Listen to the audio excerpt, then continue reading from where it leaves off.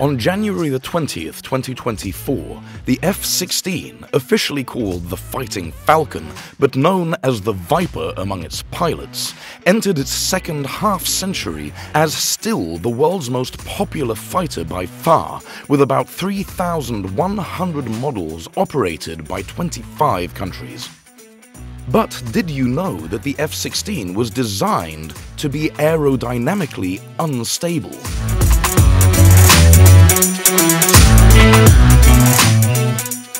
Better yet, the innovative approach to its avionics is one of the key features that give us the F-22 Raptor and the F-35 Lightning II. Apart from being a military aviation milestone, the F-16 boasts a stellar combat record. The Viper has shot down various types of Soviet aircraft and annihilated many air defense sites with its AGM-88 HARM missiles. Experts believe that Ukraine will likely have at least some F-16s operational in late spring or early summer.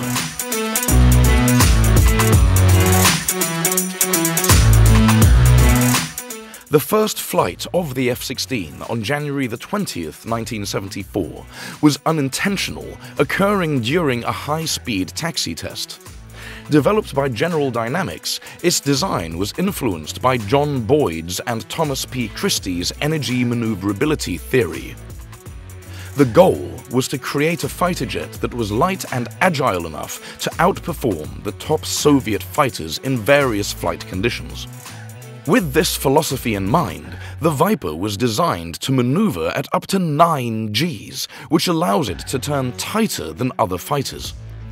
Originally built by the US in a consortium with Belgium, Denmark, the Netherlands and Norway, the F-16 became one of the most popular military aircraft of all time, as it provided a relatively low-cost, high-performance weapon system for the United States and its allied nations.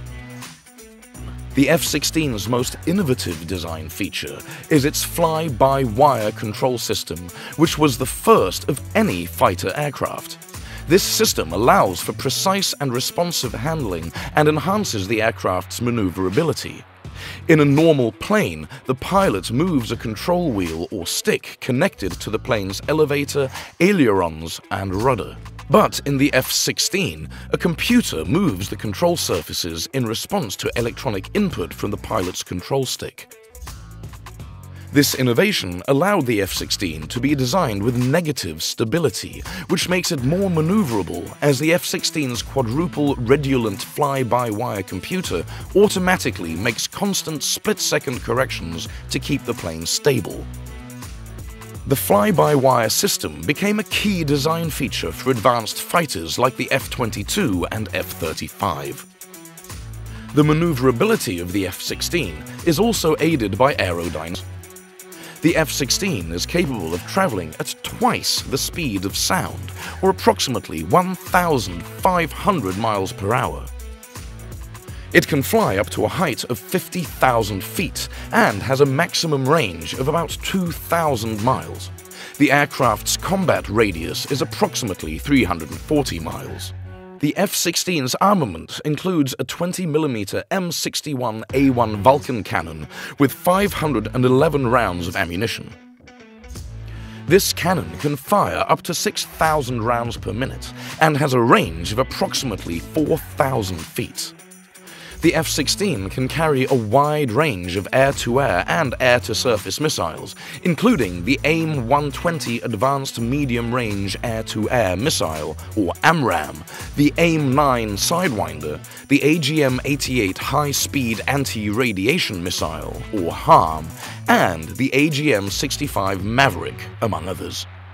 It can also carry a variety of bombs, including laser-guided bombs.